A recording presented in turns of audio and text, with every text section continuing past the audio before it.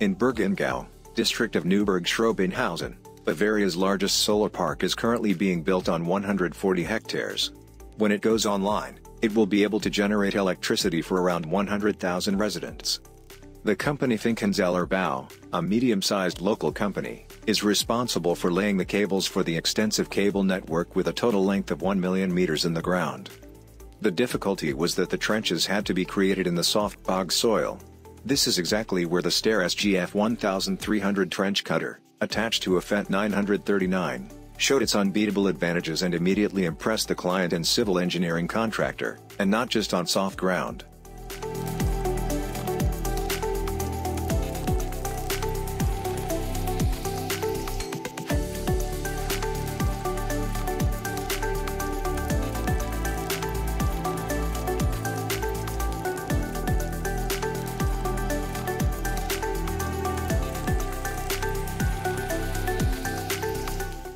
In a nearby quarry it went through a closed rock formation of soil class 6 to 7.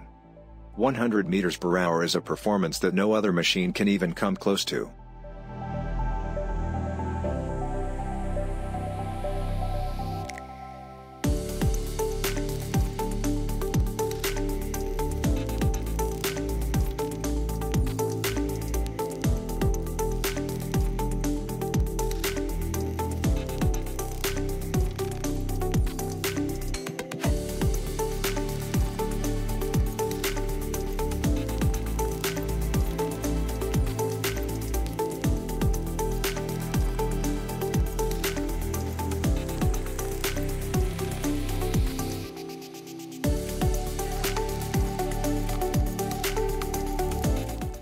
Visit our homepage with many other special machines at www.stehr.com.